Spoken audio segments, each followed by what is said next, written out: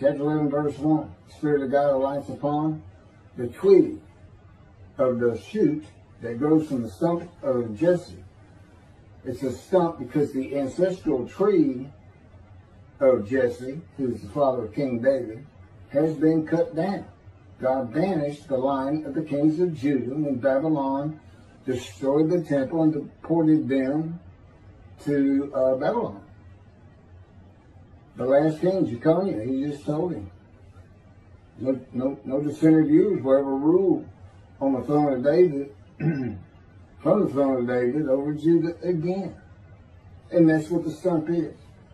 A shoot grows out of it. That's that's a different line of descendants. We don't know anything about. it. David had many, many children.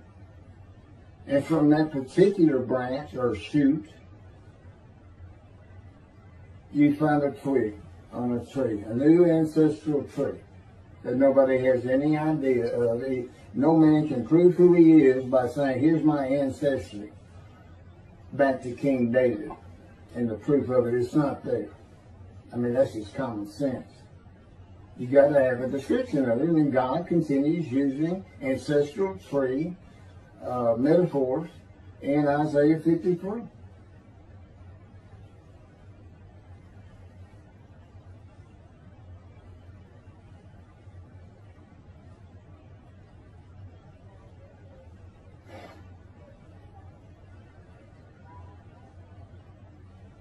This is prophetic. Isaiah prophetically refers to the stump of Jesse, father of King David, as an announcement of the ending of the line of the kings of Judah. And he's right, Isaiah's writing this, God's having him write it, but he's writing this long before Jeconiah was banished by God in Jerusalem and the temple destroyed. Whose last king, Jeconiah, was banished and the line terminated the line of the kings of Judah the ancestral tree of David, forbidden, forbidden to ever rule in Judah and Jerusalem. The tree fell, leaving a stump. It is the line of heirs in the first chapter of the book of the New Testament of Christianity of the Holy Bible. We start out with the banished ancestral tree in the Christian Holy the New Testament. That's where we start. You got to go past the book they stole and call their own. And then give it no meaning and call it an Old Testament. Let's just delete it and take it out. It's got no business with the New Testament. And who is that line? Why do we start there? It's the line of Jesus Christ. The kings, the line, God no longer wanted. That's where it starts. God did not banish this line of Jesse of the kings of Judah until long after the death of Isaiah. God knew in Isaiah's time that the line of the kings of Judah would be taken into exile and his temple destroyed. That he would end that line, leaving just the stump of Jesse for his anointed one to be raised from.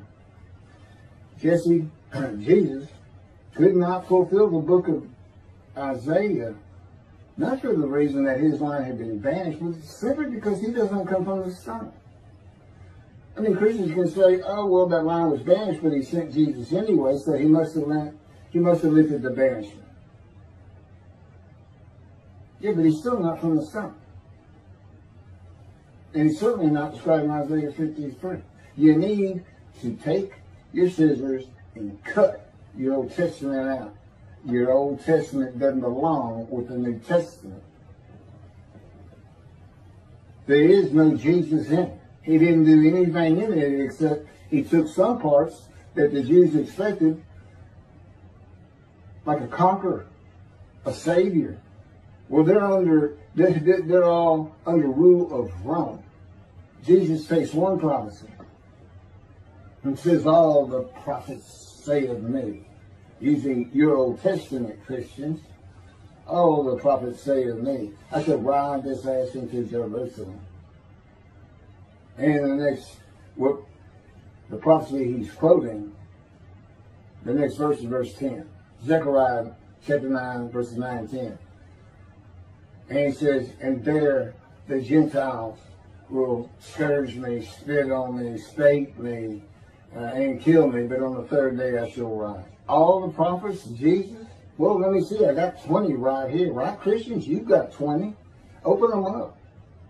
Open them up and see if he's telling the truth. Now, back when Christianity got started, nobody could do that. That's why it got rolling It's such a ridiculous concept.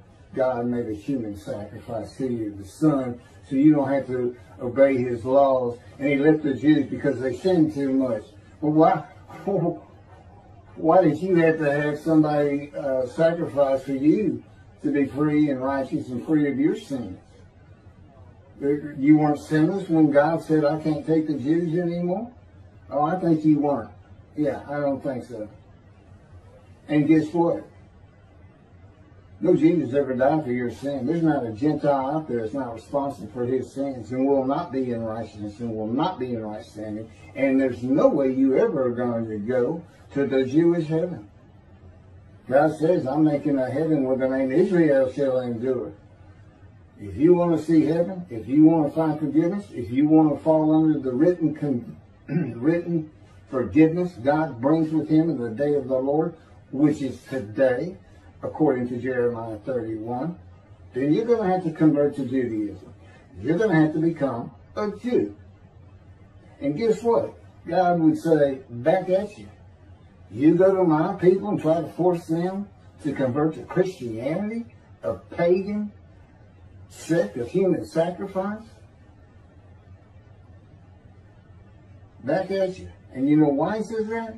Because he tells his people in chapter 51 of Isaiah, which leads into the description of the righteous servant in 52 and 53. I'm taking my cup of wrath, my bowl of reeling from you, and I'm passing it to those who told you to get down on the ground and walked all over you. They were the you Christians. You took the book. You told them they don't know how to read it. You told them they it's prophetic of Jesus Christ, a false idol, a false God.